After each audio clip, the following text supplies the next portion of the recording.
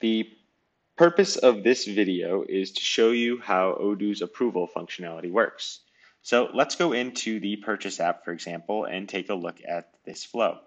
Let's just open up any order for now. And well, actually, let's create a new one to keep it clean.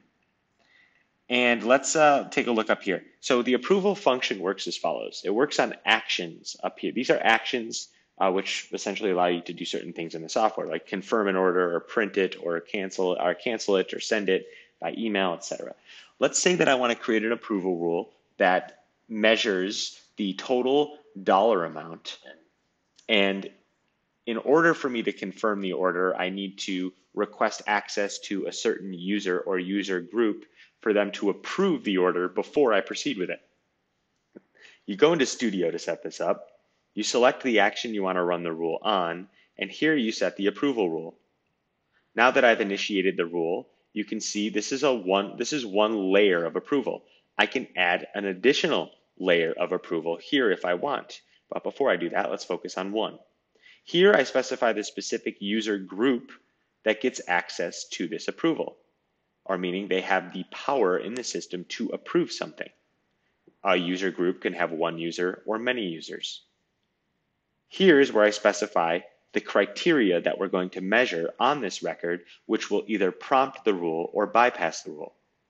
Here I can click on add the rule, add the condition, and now I can look at all of the different fields on the purchase order record, including the fields that live uh, in other records behind records I can uh, fields I can assign here, uh, in order to measure some criteria to activate the rule.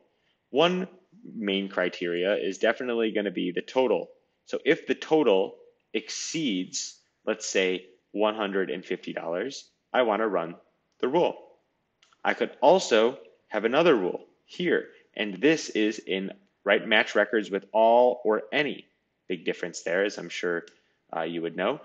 All or any of the rules will, all or any of the criteria being met. If all of it needs to be met, then all conditions need to be met. If any of them need to be met, then it's an or statement. So here I could also say at the right the user or the the responsible user, the purchase representative needs to be right out of a specific city, for example, things like that. You get the idea.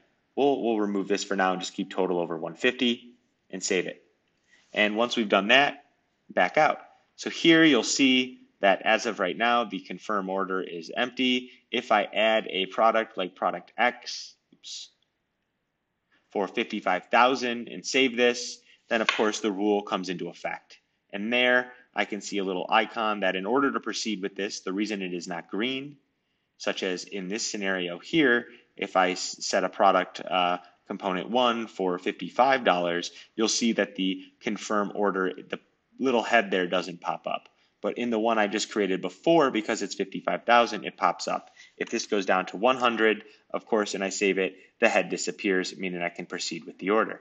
But let's go over 5, 550 and bring my approval back. And now I need to go in and you'll see waiting approval and I can, I, because I'm the administrator, can check this and it notifies that I have approved it and it timestamps it, both the user and the date it was approved on, and it would then proceed this user to uh, to initiate the order and move forward. Okay, and obviously I'm the admin, so I have all access rights, and it looks pretty seamless for me. But for another user, they would be blocked uh, had it not been approved.